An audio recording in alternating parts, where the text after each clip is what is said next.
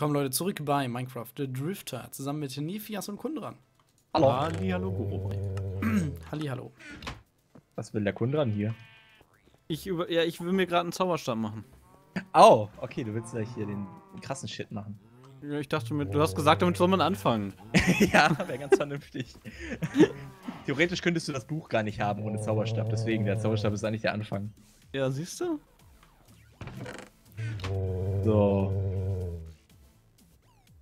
Ähm, Ja, letztes Ich Mal. habe hier sogar noch einen, ich habe hier sogar noch einen äh, Towncraft-Stick drin, den kannst du benutzen. Ist das ein Taucraft-Stick gewesen? Äh, ein Greatwood-Stick hier. Unten rechts in der Kiste. Stick hab Unten. ich. Oder ist das- Schon fertig, die Towncraft, die, die Rod dafür, unten rechts. Die hast du schon? Unten re- Nee. Aber steht, hä, wenn ich in das, wenn ich in das Buch reinklicke, auf Basic Wordcraft, habe ich einen Stick und zwei Iron Caps. Ach so. Ja, das ist der erste, der allererste Zauberstab. Ja. Den kannst du dir auch machen. Ja, wenn Äh, fangen wir hier von vorne an. Aber den brauchst du ja theoretisch nicht, weil ich ja schon den Rest habe, womit du den nächsten machen könntest. Na gut, okay, dann nehmen wir noch. Das heißt, ich brauche jetzt den hier den Greatwood. Äh, den kannst du nehmen. Das ist, der, das ist einer der kleineren, die haben 50 Wiss. Mehr brauchst du am Anfang. Also Wiss ist so die Magie-Energie, die du brauchst. Hier meiner zum Beispiel, wenn du nämlich zauberst später und dir diese ähm, Aufsätze machst für die. Äh, warte, ich nehme mal gerade einen hier. Sowas hier, das Hole oder so. Okay. Die verbrauchen nämlich Wiss. Ich habe jetzt einen mit 250 Okay. und weniger Wiss verbraucht. Das heißt, der Zauber hat jetzt 0,45 verbraucht. Wahrscheinlich, wenn du es benutzen würdest, wäre dein Zauberstab direkt leer. so nach einem Mal, Okay. weißt du? Ich habe hier Das übrigens heißt- schon die Fokis fertig hier. Damit könnte ich Kundran abfackeln. Nein, tu es nicht. Du solltest sie töten. Ja, gar nicht gesehen? Wo sind die? Ist schon weg. Muss ich erstmal was essen. Bitte was? Bei einer Armbrust. Sugo, du wolltest eben nochmal das Thema von der letzten Folge aufgreifen. Ja, wollte ich das? Ja. Du warst, warst schon im Begriff. Okay, ich habe irgendwie einen Yeti hier bei mir im Haus, aber das ist auch egal. Bei dir im Haus. Ach, da ist er. Den hab ich gerade runter. What the fuck, Mann?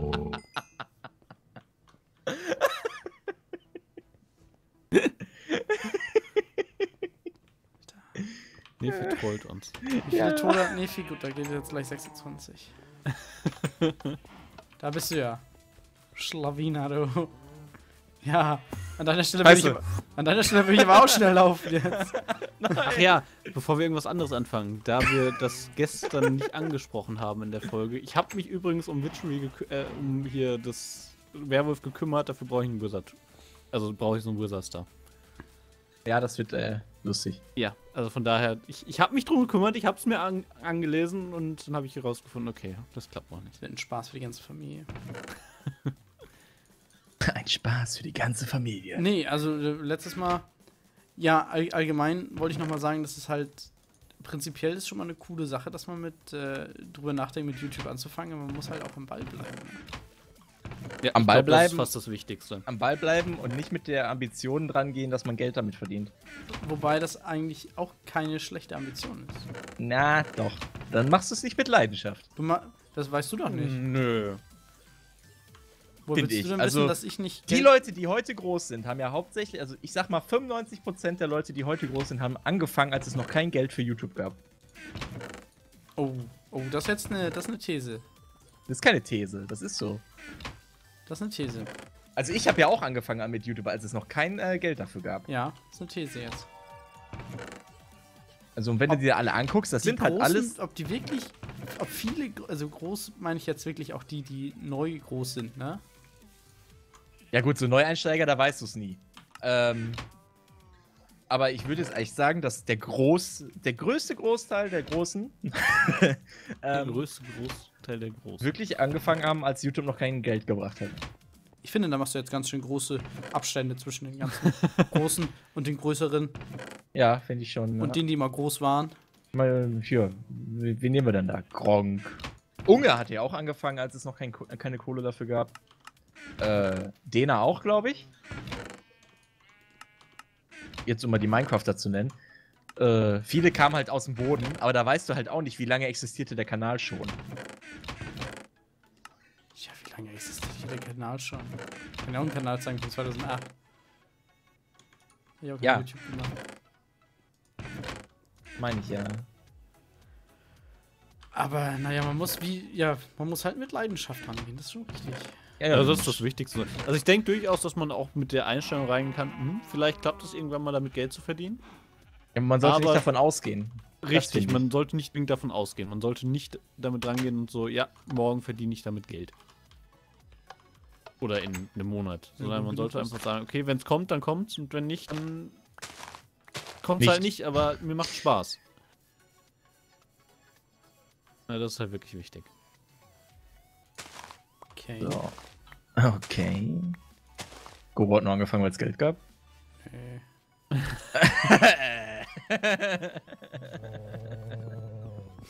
da müsste ich ja jetzt schon lange aufgehört haben.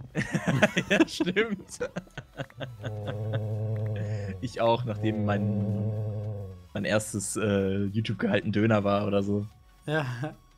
Also, Wir machen das jetzt anderthalb Jahre und haben noch nie einen Cent eingenommen. Ja, Ja. Wir hätten, aber verstehe ich auch nicht, dass ihr das noch nicht gemacht habt. Aber habt ihr denn mal ein Spiel bekommen? ähm, nur so beta Selbst wenn es halt so, so ein Indie-Spiel war. Nee, ich glaube selbst das nicht.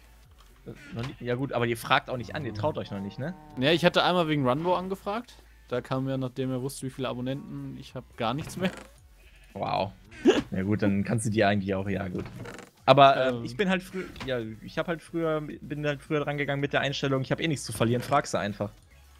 Ja, das ist schon richtig. Und ja. irgendwann hat das ja sogar mit Nintendo geklappt und da hatte ich erst 2000 Abos. So, weißt du? Mhm. Da fing das halt so langsam an mit Nintendo, da hatte ich halt den Kontakt. Doof war halt dann irgendwann, dass sie die PR gewechselt haben. Da musste ich wieder von vorne anfangen. Obwohl ich mehr Abonnenten hatte als vorher. Äh, aber ja, jetzt geht's ja auch wieder. Hat aber lang gedauert. Man muss echt ehrgeizig sein bei den ganzen Scheiße. Also so ohne weiteres kriegst du da echt nichts mehr. Weil halt zu viele YouTuber da sind auch. Genau das ist eben das Problem. Was ich denke, dass es dadurch extrem schwer wird, irgendwie noch an was ranzukommen. Jetzt auf unsere Abonnentenzahl nicht allgemein, aber. Geht. Kommt drauf an, was du spielen willst. Ja, wenn du Indie-Spiele spielst, dann bist du glücklich. Dann kriegst du jedes Spiel eh gratis hinterhergeworfen im Grunde. Wow, Twitter sagt mir gerade Gratulation, du hast über 900 Follower.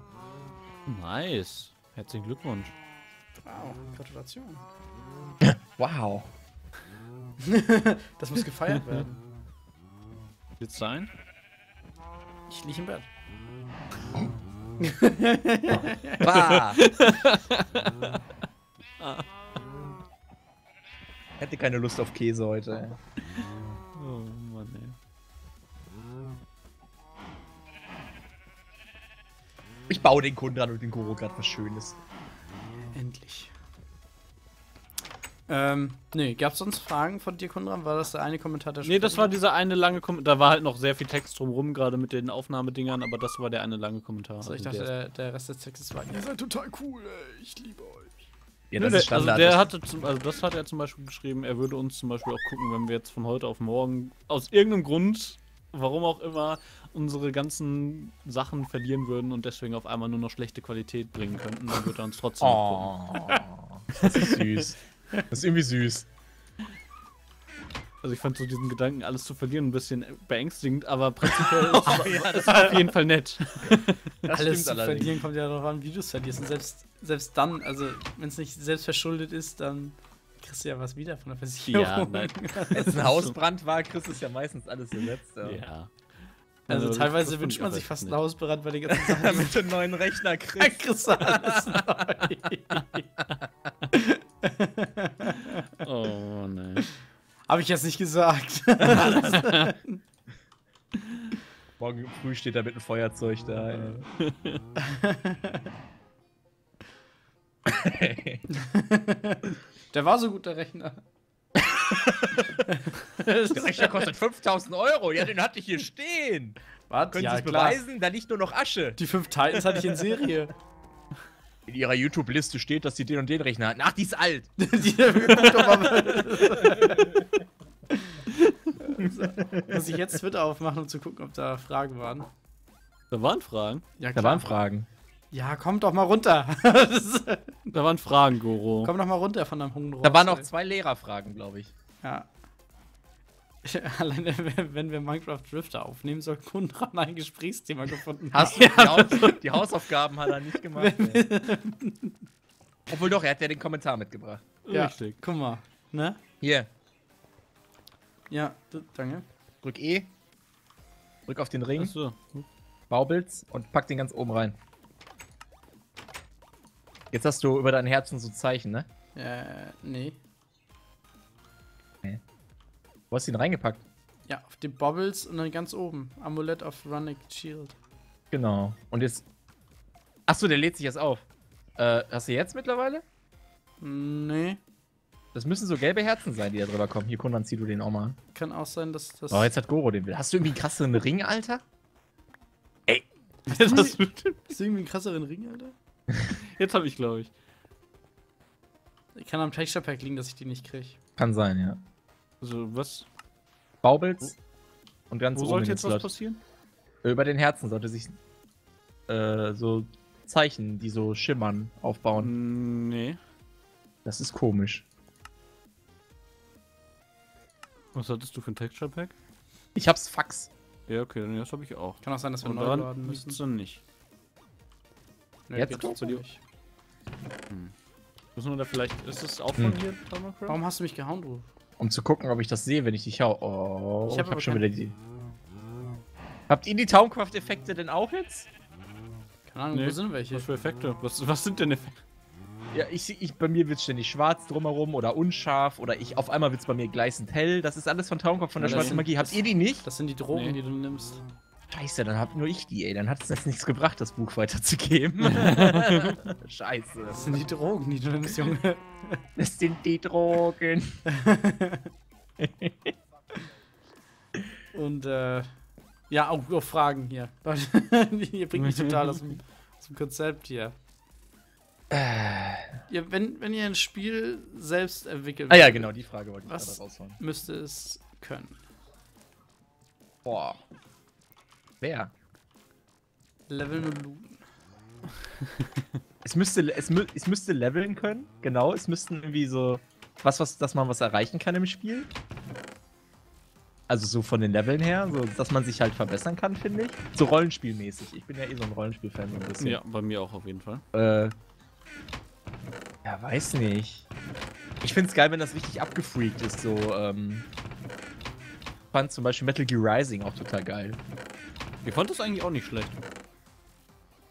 Und äh, ich finde halt auch so, so, so, so, Zukunftsszenarien finde ich immer relativ cool mit Robotern und Cyborgs und so. Das finde ich eigentlich immer relativ cool. Aber ich finde, es ist ein Rollenspiel. Aber was genau und wie genau? Da müsste ich mir das ja jetzt patentieren lassen, wenn ich das erzähle. Ich habe das schon patentiert. Nee, aber sowas halt. Es müsste ein Level-System geben. Postapokalyptisch finde ich auch ganz cool. Open World muss nicht mal sein, wenn die Story gut ist. Open World ist ja auch so eine Sache. Ab wann ist Open World? Eine Open World ist ja trotzdem nicht unendlich. Ich finde, das einzige Open World Spiel, was existiert, ist Minecraft. Weil du, bei Minecraft immer, weil du bei Minecraft immer weiterlaufen kannst und sich immer was Neues rege- re generiert. Bei ähm, GTA fährst du ewig in eine Richtung und irgendwann ist Ende. Auch da bist du ja begrenzt. So, weißt du? Ja, ich weiß, was du meinst. Das ist meine eine ich schwierige halt. Frage, ab So, wann, ab wann, Open ab World wann sagt man, World Open ist. World ist mittlerweile so ein Begriff, es ist einfach nur eine große Welt. Ja, aber ist es nicht, du bist eine große Welt und du kannst überall hin? Also Ja. überall dahin, wo es Open World ist ist? mittlerweile, glaube ich, so definiert, dass du einfach äh, Freiraum hast und dich frei bewegen kannst, wie du willst. Dass du keine Storyline hast. Ich glaube, so wird Open World mittlerweile de definiert. Also, dass du nicht gezwungen bist, der Story zu folgen. Also ich würde es prinzipiell sagen wie Goro, alles was du siehst, kannst du erreichen. Ja, aber das ist ja auch meistens schon nicht mehr der Fall. Alles, was am Horizont im Hintergrund, die Berge und so, die kannst du ja meistens nicht erreichen. Das sind ja, Ja, noch ja, auch die- nur Bilder, so, die weißt zählen du? dann zu, zu Hintergrund. Ja, Ja, du ist hast dann halt. Deswegen, Open World ist ein komplizierter Begriff, finde ich. Also ich würde schon sagen, dass. Also Hintergrund, wenn du irgendwo Berge hast, dann kommst du halt irgendwann an den Fuß des Berges und kannst den Berg nicht mehr unbedingt hochlaufen. Okay, das wäre noch okay, aber du bist halt, ja. Früher Oder es ist halt irgendwo ein Meer und dann kannst du halt da nicht durchschwimmen. Das finde ich noch okay. Weiß gar Das nicht, womit das mit Open World damals anfing. Wo war das denn? Ey? War das mit so Gothic und so? War das so? Das Open hatte World also Peter hatte da, ich weiß nicht, hattet ihr das Veta? Das Veta von Peter genannt. Das Video Veta von- von Peter. Ich weiß, das, das wo er über Gothic redet, ne? Nee, das habe ich Ja. noch nicht Du gesehen. meinst das Genau. Veta von Peter? Was? das Wetter. Das Wetter, das Wetter von von Peter. Kommen wir, kommen wir eigentlich Geld dafür, dass wir so oft erwähnen? Du weißt ja nicht, was für ein Peter. Oh, nee, also da meinte er auch, dass das so die Be also für ihn so die Begründung des Open World ist, weil du konntest halt wirklich überall hin, du hast halt außenrum Berge gehabt, klar. Aber selbst die konntest du zum Teil ja noch hochklettern, nur an manchen Stellen war es halt einfach so hoch, dass du da nicht weiter konntest. ja. Und du konntest prinzipiell von Anfang an überall hin, nur irgendwelche Monster haben dir halt gesagt, na, wenn du hier weitergehst, dann stirbst du aber. Mhm. Aber theoretisch hättest du da halt lang gehen können. Also die Art fand ich, also Gothic ist für mich auch immer noch eins der geilsten Spiele. Habe ich nie gespielt. Ich war nie Gothic-Fan. Ich auch nicht. Oh. Möchtest du jetzt Ich weiß nicht, Gothic, ich habe Skyrim gespielt. Skyrim geht ja auch ungefähr so in die Richtung, so von, von mittelalterlich und so, ne? Aber, ähm. Gothic habe ich nie gespielt. War nie so mein Fall, ich weiß nicht. Ja, da war, ich hatte aber auch relativ spät einen PC, muss ich dazu Okay, sagen. na Ich bin, ich, bin, ich bin einer der, der, der, der Kinder der 90er, die äh, mit einer Konsole aufgewachsen sind. Ja gut, ich hatte auch immer Nintendo, so ist es nicht. Aber ich hatte halt, es gab im gesamten Haushalt keinen PC. Ne? Also wir hatten echt jahrelang keinen. Den ersten PC, den wir hatten, da war ich irgendwie schon 16 oder so, weißt du? Ja gut, Also das war 15, aber 16. Also ich habe den richtig früher. spät bekommen erst. Oder wir allgemein haben den richtig spät bekommen erst. Meinst du, was das für eine Offenbarung war? Und dann noch ohne Internet. Wir hatten kein Internet mit dem ersten Rechner. So ja auch. Da hat man sich noch gefreut, wenn man die Computerbild-Spiele-CD hatte. Mit, äh, mit Spielen drauf. Das war mal die, die Erlösung, ey. Hm. Siedler 3 war ja der Grund für unsere erste Flatrate vom Internet. Siedler, weil der Vater spielen wollte, oder was? Nee, weil ich irgendwann mal eine Rechnung von 130 D-Mark erzeugt hatte und mein Vater dann gesagt hat, das ist ein bisschen viel Sohn, aber dafür holen wir uns jetzt eine Flatrate. Ach, guck mal, hat sich doch gelohnt, ey. Ja. Hat sich gelohnt. Nee, mein Vater hat gesagt, Flatrate oder gar kein Internet. Ist zu gefährlich. ich kenne meine Pappen Ja, einmal so. wir hatten das halt relativ früh. Ich glaube, ganz, äh, ganz zu dem Zeitpunkt, als es Internet bei uns gab, gab es noch keine Flatrate. Okay, nee, also mein, mein, mein Onkel war immer so ein krasser, oder meine beiden Onkel waren immer so krasse Internet-Dudes und so PC-Dudes. Die haben sowas von Anfang an mitgemacht, aber mein Vater, ich weiß nicht, ich, ich, teilweise glaubt mein Vater auch, dass, dass ich im Krankenhaus irgendwie ausgetauscht wurde oder so. Weil äh, ich bin echt so PC-technisch der fitteste in der Familie. Mit meinem Onkel halt. Mittlerweile glaube ich auch sogar fitter als mein Onkel. also, also, Ganz kurz zwischendurch. Was, ich habe jetzt hier einfach mal, damit ich das einfach mal gemacht habe, diese ich habe ja den Zauberstab mal hergestellt und habe jetzt auch mir die Mhm. weiteren Rezepte gemacht. Jetzt habe ich die Zettel im Inventar, was bringt mir das? äh, welche Zettel? Ja, Research Notes. Ja, komm, die, die musst du nicht mehr machen, ne? Ja, ich wollte mir das einfach angucken. Achso, äh, komm mal zu mir. Ja. Aber erst gehen wir schlafen. Erst Okay. beenden wir die Folge. Was? Ist Schon? schon wieder soweit? Ja. Nee, erst Okay. schlafen, danach Folge beenden. Okay, erst Komm, schlafen. erst schlafen. Leute, lasst ein Like da, wenn es euch gefallen hat. Schreibt doch mal Auch rein, wenn was der für Goro wieder Spiele- Zeit-Nazi. Was für Spiele? Ja, 18 Minuten, ey. Jetzt aber. Hört's mal auf bei dir. Mach ich Du zwei gönnst den Mittwochs rein. Kindern auch nix, ey. Es ist bald Weihnachten. Vielleicht mach ich drei rein. also bis zum nächsten Mal. Tschüss. Ciao.